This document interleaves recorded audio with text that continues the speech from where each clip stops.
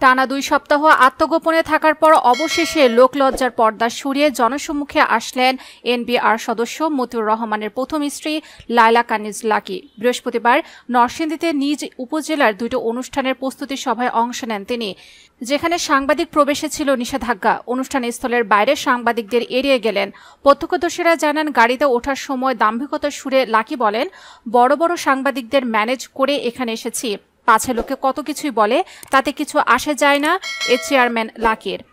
এবারের ঈদে সাদেক এগ্রো থেকে বারো লাখ টাকার ছাগল বুকিং দিয়ে সামাজিক যোগাযোগ মাধ্যমে তোপের মুখে পড়েন মুশফিকুর রহমান ইফাত। আয়ের উৎস অনুসন্ধানে গিয়ে বেরিয়ে আসে থলের বিড়াল। খুলে যায় এক সাধারণ এনবিআর কর্মকর্তার অসাধারণ দুর্নীতির মুখোশ। তবে এক হাসি কেড়ে নিয়েছে মতিওরের দুই পরিবারের হাসি। ঈদের আনন্দ ছিল তাদের পরিবারে। বিপদ আন্দাজ করে ঈদের পরপর মাকে নিয়ে মালয়েশিয়া পালিয়ে যান ইফাত। নিজের ছেলে নয়, সতীনের ছেলে ছাগল কাণ্ডে পাগল হয়ে পালিয়ে ঈদ করতে হয়েছে নরসিংদীর উপজেলা চেয়ারম্যান লায়লা কানিজ লাকিকে। এই ঘটনায় স্বামী মতিউরের সঙ্গে লাকি বেড়েছে দূরত্ব, সম্পর্ক ধরেছে ফাটল। দেশ ছাড়ার পরিকল্পনা করলেও অবশেষে শুভাকাঙ্ক্ষীদের পরামর্শে আসলেন প্রকাশ্যে। নিজের উপজেলা পরিষদের দুটি অনুষ্ঠানে অংশ নিয়ে দাম্ভিক করে বলেন, ঢাকার ও নরসিংদীর জাতীয় পত্রিকা ও টেলিভিশনের বড় বড় সাংবাদিকদের মোটা অঙ্গে টাকা দিয়ে কিনেই উপজেলা পরিষদে এসেছেন লাকি। তার আর কিছু করতে পারবে না। নিউজ সহ সব থেমে যাবে।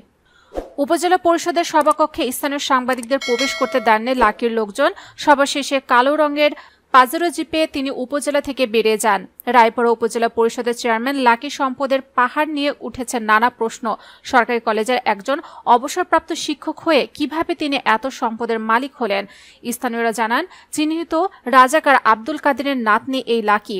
তিনি এখন নরসিংদী জেলা আওয়ামী লীগের দুর্যোগ ত্রাণ ও সমাজ কল্যাণ বিষয়ক সম্পাদক।